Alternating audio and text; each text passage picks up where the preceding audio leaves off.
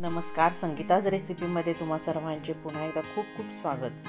सर्वप्रथम सर्वांना दिवाळीच्या खूप खूप शुभेच्छा. आज आपण मस्त खमंग चटपटीत पातळ पोह्यांचा चिवडा बनवणार आहोत. चवीला एकदम मस्त होतो तसेच चिवडा मसालाही आज आपण कसा करायचा ते पाहणार आहोत. चला तर मग यासाठी लागणारे साहित्य पाहू. अर्धा किलो मी पातळ पोहे घेतले आहेत. दीडशे ग्रॅम तेल तळण्यासाठी दोनशे ग्रॅम शेंगदाणे शंभर ग्रॅम फुटाण्याची डाळ शंभर ग्रॅम खोबऱ्याचे काप पन्नास ग्रॅम काजू पन्नास ग्रॅम बेदाणे हे ऑप्शनल आहे. तीस ते चाळीस कडीपत्त्याची पाने दहा ते बारा हिरव्या मिरचीचे तुकडे चार चमचे फोडणीसाठी तेल एक चमचा लिंबूचा रस तसेच चिवडा मसाला बनवण्यासाठी आपण साखर चार चमचे मीठ दीड चमचा किंवा चवीनुसार चाट मसाला एक चमचा धनेपूड एक चमचा जिरेपूड एक चमचा हळदपूड दीड चमचा हिंग पावडर अर्धा चमचा. आता आपण मस्त पातळ पोह्यांचा चिवडा कसा करायचा ते पाहणार आहोत. त्याआधी तुम्हाला जर आजची रेसिपी आवडली तर माझ्या चॅनलला सबस्क्राईब करायला विसरू नका. आता आपण पटकन व्हिडिओ स्टार्ट करू. पातळ पोह्याचा चिवडा बनवण्यासाठी अर्धा किलो पातळ पोहे घेतले आहेत. आता आपण हे पोहे चाळून घेऊ. थोडे थोडे पोहे घेऊन आपण याला चाळून घेणार आहोत. त्यामध्ये चुरा असतो त्यामुळे हे पोहे आपण चाळून घ्यायचे आहेत. हे पोहे अगदी पातळ असतात तसेच पांढरे शुभ्र व हलके असतात. सगळे पोहे मी चाळून घेत आहे. तुम्ही ते बघू शकता यामध्ये किती चुरा आहे.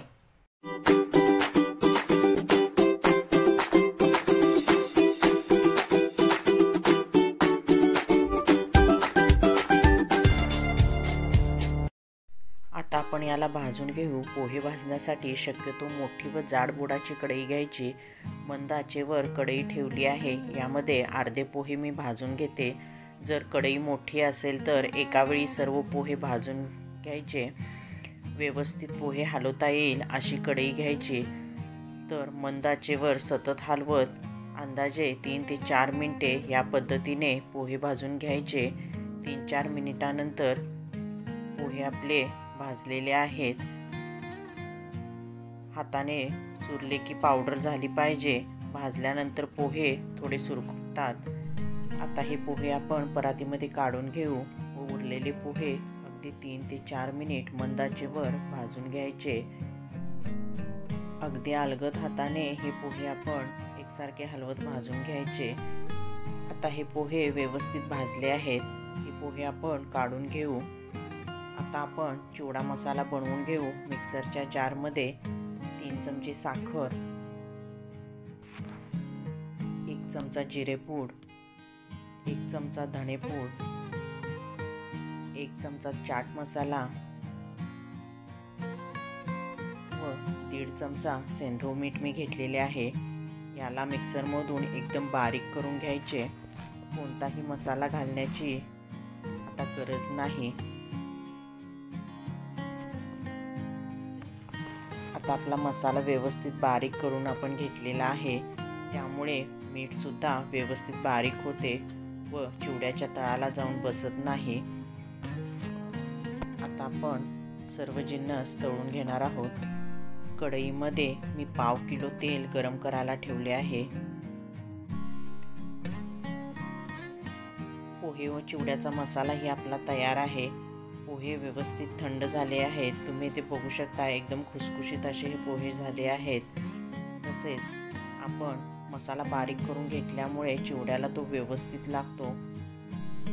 तेल गरम झाले की गॅस कमी करायचा व शेंगदाणे भाजून घ्यायचे. शेंगदाणे तुम्ही तुमच्या आवडीनुसार कमी जास्त ते घेऊ शकता. शेंगदाणे चांगले एकसारखे हलवत मंदाचे वर कुरकुरीत होईपर्यंत तळून घ्यायचे. शेंगदाण्याचा रंग चेंज झाला आहे.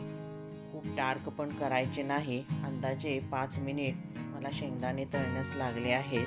खूप डार्क रंगावर शेंगदाणे तळले तर त्याची टेस्ट बदलते. आता आपण हे तळलेले शेंगदाणे पोह्यावर काढून घेऊ. आता आपण खोबरे तळून घ्यायचे आहे. मंदाचेवरच आपण खोबरे तळून घेणार आहोत. पद्धतीने एकसारखे हलवत आपण याला तांबूस रंगावर तळून घेतले आहे. आता हे देखील आपण पोह्यावर काढून घेऊ. फुटाण्याची डाळ मी आता तळून घेत आहे. फुटाण्याची डाळ तळण्यासाठी खूप जास्त वेळ लागत नाही कारण ती आधीच भाजकी असते त्यामुळे ती पटकन तळली जाते. आता आपण काजूचे तुकडे तळून घेत आहोत. हलक्या गुलाबी रंगावर काजू आपण तळून घ्यायचे आहेत.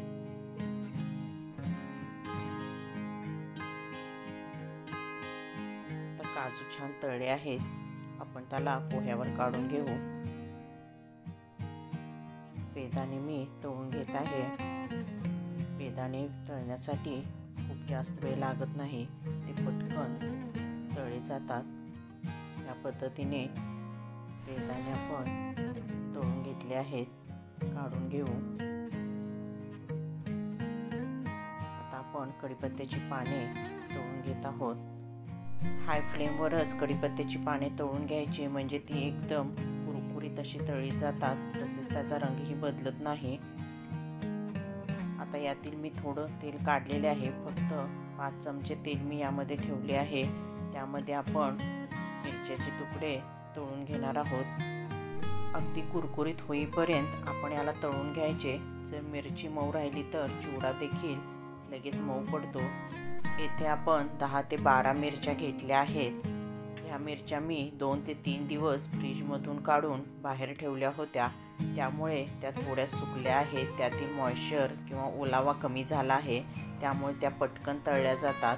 एकदम कुरकुरीत अशा आपण ह्या मिरच्या तळून घ्यायच्या आहेत.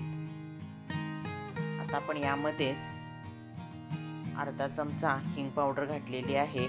व दीड चमचा हळदपूड मी यामध्ये घातली आहे. आता आपण याला व्यवस्थित मिक्स करून घ्यायचे आहे.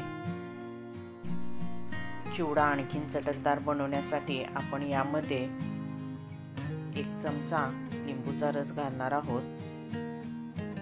याऐवजी तुम्ही आमचूर पावडर देखील यामध्ये घालू शकता. आता आपण याला व्यवस्थित मिक्स करून घ्यायचे आहे. आणि ही फोडणी आता आपण चिवड्यावर घालून घेऊ. चवीला एकदम मस्त चटपटीत असा हा चिवडा होतो. आता आपण याला अलगद हाताने व्यवस्थित मिक्स करून घ्यायचे आहे. ह्या चिवड्यासाठी आपण मसाला देखील घरीच बनवला आहे. करायला एकदम सोपा आहे. घरी उपलब्ध असलेल्या साहित्यापासून आपण बनवला आहे. तो मसाला आपण चिवड्यामध्ये मिक्स करून घेऊ. अगदी अलगद हाताने आपण याला मिक्स करून घ्यायचे आहे. किंवा तुमच्याकडे तयार चिवडा मसाला असेल तर तो देखील तुम्ही येथे वापरू शकता. चवीला एकदम अप्रतिम असा हा चिवडा होतो. आता आपला चिवडा तयार आहे. आज आपण चटपटीत खुसखुशीत पातळ पोह्यांचा चिवडा बनवला आहे. पूर्णपणे थंड झाल्यावर हा चिवडा हवाबंद डब्यामध्ये ठेवा. चांगला महिनाभर तसाच कुरकुरीत राहतो. अजिबात चिवट होत नाही. काही टिप्स मी या व्हिडिओमध्ये सांगितल्या आहेत. त्यामुळे चिवडा एकदम खुसखुशीत व चटकदार होतो. पहिली गोष्ट म्हणजे पोहे थोडे भाजून घ्यायचे म्हणजे ते क्रिस्पी होतात. चिवडा तयार झाला की पूर्णपणे थंड झाल्यावरच डब्यात भरायचा. मिरची व कढीपत्ता कुरकुरीतच तळून घ्यायची. जर ते मऊ राहिले तर त्यातील मॉइश्चरमुळे चिवडा नरम पडू शकतो. ह्या जर टिप्स तुम्ही फॉलो केला तर महिनाभर हा चिवडा खुसखुशीत राहतो. अजिबात चिवट होत नाही.